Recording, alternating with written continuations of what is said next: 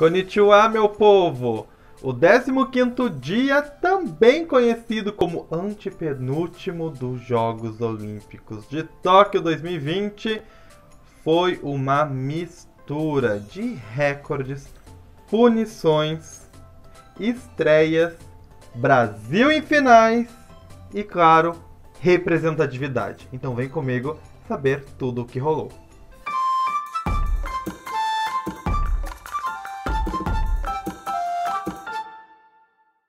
Tivemos o pentatlo moderno feminino.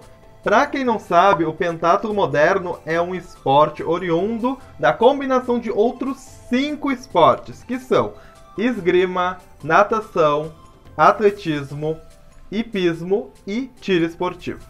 O Brasil foi representado pela Ieda Guimarães, que não teve um bom desempenho e acabou na 36ª colocação e última.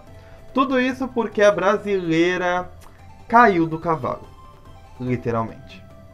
Ela foi bastante mal, acabou eliminada da prova dos saltos. Na natação ela já tinha ficado em último e na combinação do tiro e corrida ela também foi bem mal, não chegando a completar a prova. Recorde no atletismo. Ellison Félix dos Estados Unidos levou o bronze na prova dos 400 metros femininos. Porém, essa foi a sua décima medalha olímpica, o que a tornou a maior e mais laureada atleta mulher da história deste esporte nos Jogos Olímpicos.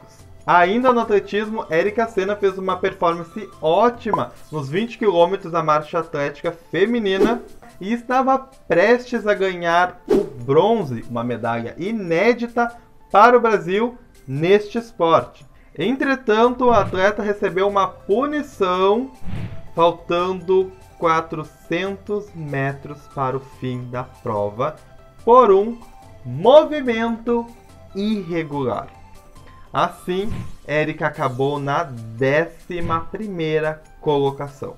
O Brasil se classificou para a decisão dos saltos no hipismo por equipe. A seleção brasileira é formada por Rodrigo Pessoa, Maron Zanotelli e Pedro Veniz. E eles acabaram na oitava colocação e vão agora disputar mais uma medalha para o Brasil. Tivemos as classificatórias para o individual geral da ginástica rítmica. Elas fizeram performances com a bola, fitas, massas e também o arco. Para não surpresa de todos, as russas e irmãs Arina e Dina Averina se classificaram para a final com 3 pontos de vantagem para a terceira colocada. Entre as 10 finalistas, além das russas, temos duas ucranianas, duas bielorrussas, duas israelenses, uma búlgara e uma italiana. Cauã Pereira garantiu vaga na final da plataforma 10 metros masculinas dos saltos ornamentais. Com 371,65 pontos, ele ficou na 17ª colocação. Isaac Souza também estava na disputa, mas ele não conseguiu avançar. No geral, ele ficou na vigésima posição. Às vésperas da semifinal do vôlei feminino, Tandara foi suspensa provisoriamente da seleção brasileira após apresentar resultado analítico adverso para a substância ostarina. Essa substância modula o metabolismo e pode ajudar no ganho de massa muscular, além de pertencer a uma classe de anabolizantes. Vale lembrar que recentemente outros atletas também foram vítimas de incidentes com a ostarina devido contaminação cruzada. Já nas quadras, a seleção feminina de vôlei sem Tandara conseguiu bater a Coreia do Sul por 3 sets a 0, parciais de 25-16, 25-16 e 25-16. Agora é hora de enfrentar mais uma vez a seleção dos Estados Unidos. Torcer para que o favoritismo das americanas novamente atrapalhe elas e a gente saia de Tóquio com o nosso tricampeonato olímpico. O Canadá venceu a Suécia na final do futebol feminino e conseguiu a sua tão sonhada medalha de ouro.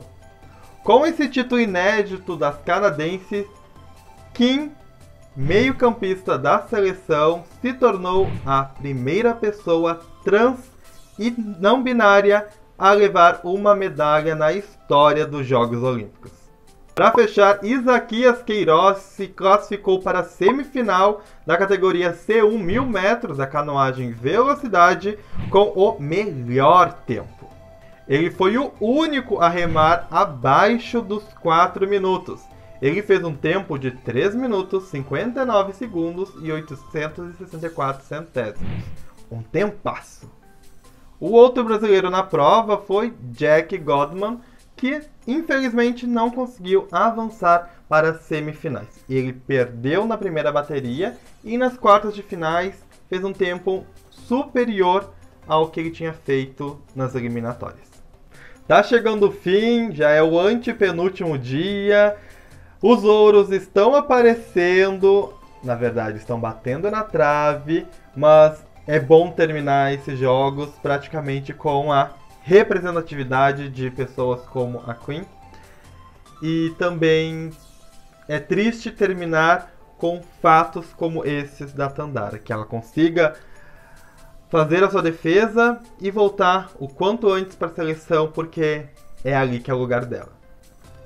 Sayonara.